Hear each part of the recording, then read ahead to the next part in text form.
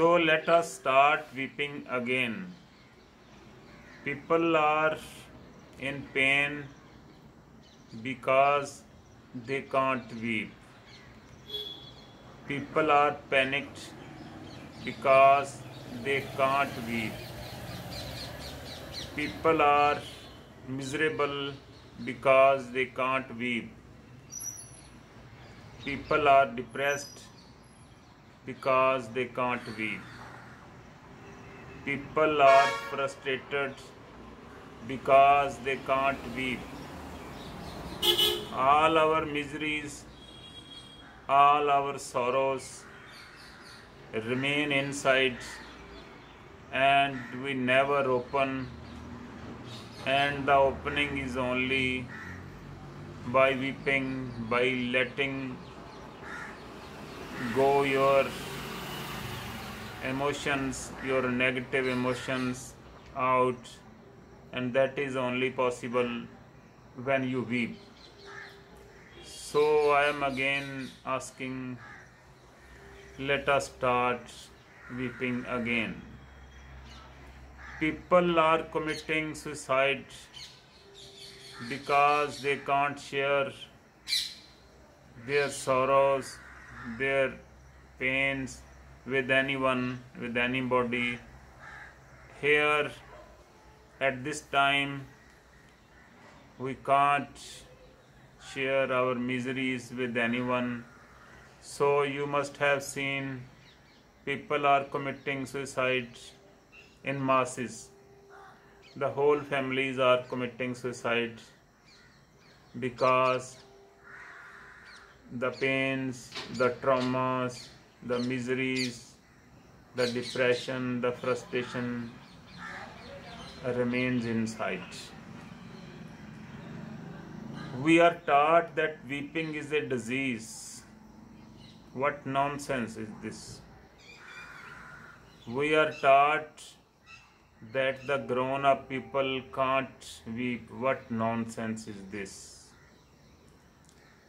Laughing falsely, laughing superficially is a disease. Laughing falsely is hypocrisy. Weeping is a healthy sign. So let us weep again. So let us start weeping again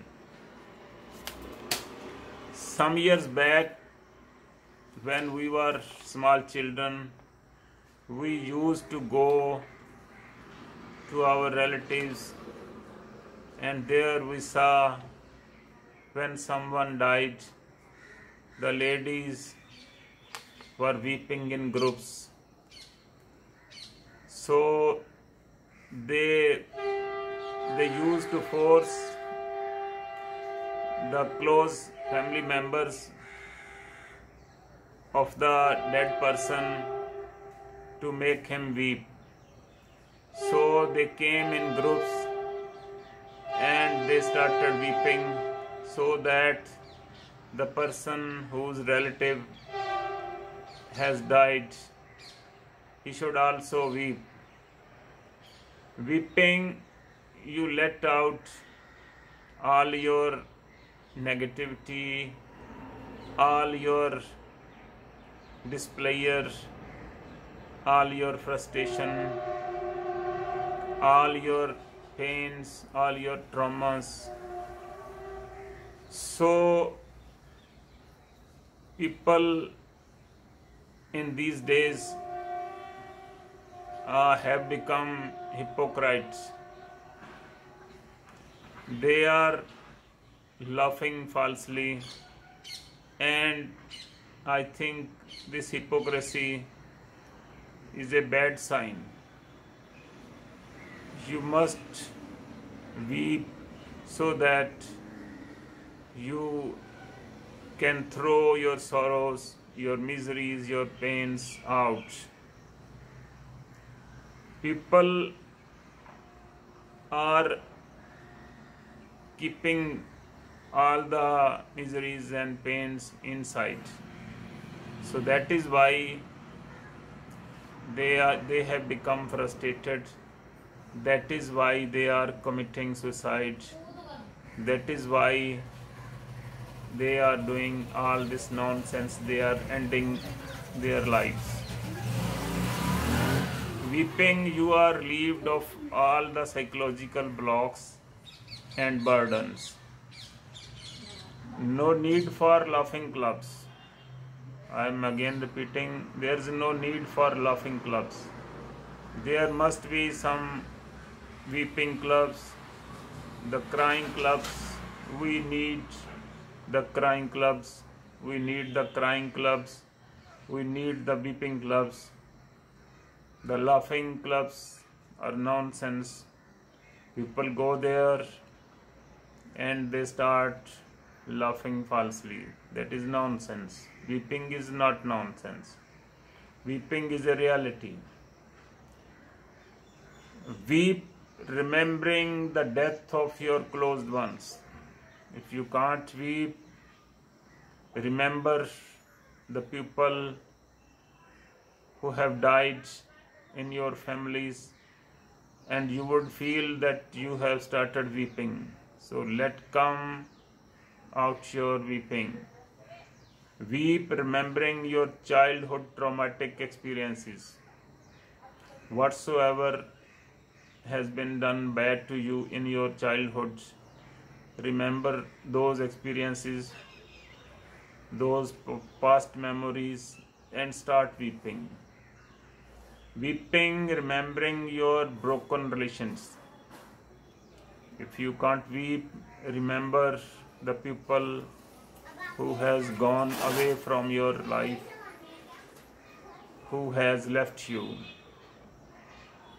Weep remembering the broken leg of a street puppy, a street dog. If you are sensitive enough, you can weep seeing anything that is unnatural seeing anything traumatic whatsoever whatsoever happened to anybody to any animal to any bird. Weeping remembering the painful death of your parents or your grandparents. Weep weep weep and you are free from depression and you are free from frustration. The person who weeps often, the person who weeps easily, so he would never commit suicide, he would never require any psychotropic drugs, he would never be depressed. So, weeping is a bath of the soul so I highly recommend start weeping if you feel pain. Start weeping if you feel misery. Start weeping if you are depressed. Start weeping if you are frustrated. Experience this. You can experience this weeping and you would feel that you are relieved much that is enough for today. Thank you